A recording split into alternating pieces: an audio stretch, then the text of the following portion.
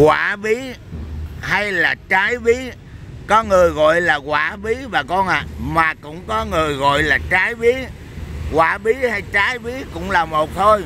À, quả bí hay trái bí nó rất tốt và nó tốt vô cùng cho sức khỏe đó bà con.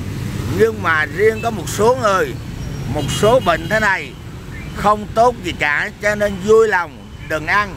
Chứ chúng ta sử dụng quả bí hay trái bí thì làm cho chúng bệnh chúng ta lâu lành lâu bớt lâu khỏi. Đó là những người đang bị tiểu nhiều. Người có bệnh thận người có huyết áp người có ho người có đờm người có tiểu đường bệnh gan bà bầu. Phụ nữ đang cho con bú. Oh, huyết áp thấp cơ địa lạnh.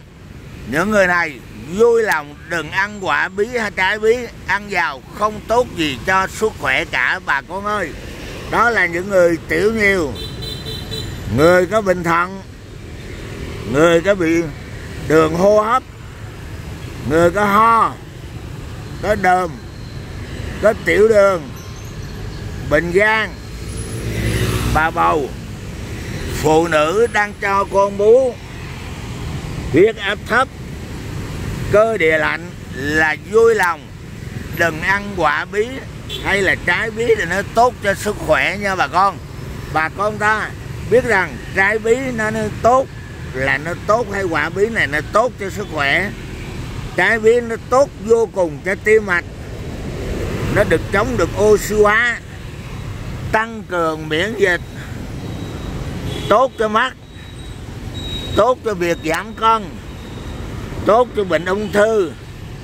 Tim mạch, da miệng màng. Nó làm khỏe mạnh. Giảm huyết áp. Hỗ trợ giấc ngủ. Ổn định ngủ ngon giấc. Ổn định ngủ ngon giấc. Trái bí hay là quả túy nó tốt sức khỏe vô cùng. Nó tốt cho sức khỏe là nó tốt cho tim, mạch chống oxy hóa, tăng cường miễn dịch, tốt cho mắt, tốt cho việc giảm cân, tốt cho bệnh ung thư tim mạch, da miệng màng, khỏe mạnh, giảm được huyết áp, ổn định được giấc ngủ, ổn định ngủ ngon giấc, ngủ cái màng ngon ngon ngon giấc.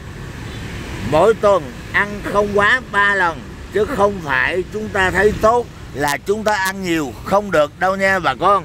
Mỗi tuần ăn không quá ba lần là ba bữa ăn. Ăn cách nhật là ăn ăn ăn. Một ngày ăn, ngày nghỉ, ngày ăn, ngày nghỉ là tốt nhất.